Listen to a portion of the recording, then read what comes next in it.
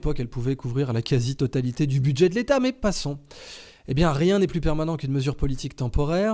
Et euh, les mesures politiques temporaires qui vont être prises et qui seront full fascisantes, Là aussi, Ariane Biran le rappelle bien, parce que bon, bah, le régime nazi, c'était un régime temporaire, c'était un, petit régime d'exception euh, qui a duré 12 ans et euh, qui a emmené son peuple à l'abattoir de façon systématique, avec bien entendu comme point culminant la mise à disposition du corps d'autrui, que ce soit pour les Lebensborn, donc le programme de reproduction forcée, déjà, hein, ça parlait de réarmement, de réarmement démographique, mais avec en plus tout cet aspect, bien sûr, de la race supérieure, et puis euh, la mise à disposition des corps des gens avec les Volkssturm qui allaient se faire euh, sauter.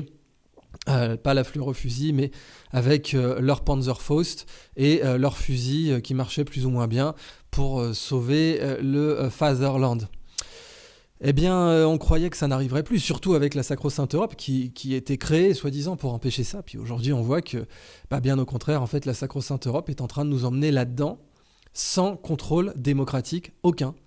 Donc la rhétorique est là, les généraux en parlent, la presse en parle, les, parlements et les corps constitués en parlent, et puis ils nous exhortent lentement à nous sentir coupables, parce qu'il y a ça aussi, il y a la culpabilité, bien sûr. Hein. pendant le Covid, c'était, attendez, euh, rappelez-vous la, bonne, rhétorique, Arnold Schwarzenegger qui disait Screw your freedom on baise vos, libertés, allez vous faire foutre avec vos libertés? Voilà, acceptez, vous êtes tout de même des, gros narcissiques et, des gros euh, égoïstes de vouloir prétendent avoir des libertés fondamentales. On n'a pas idée. Enfin, la situation justifie l'abolition de vos libertés. Vous êtes un vrai salopard si vous n'abolissez pas vos libertés immédiatement. Donc, screw your freedom. Voilà le, les grands éléments de langage qui avaient été lancés par McKinsey à l'époque. Faire culpabiliser les gens d'avoir des libertés fondamentales que leurs parents et grands-parents euh, avaient conquis de haute lutte, pour lesquels des gens étaient morts sur des champs de bataille, et pour lesquels je rappelle tout de même que Roosevelt avait dit que nous formons, pendant la Deuxième Guerre mondiale, un arsenal de la démocratie.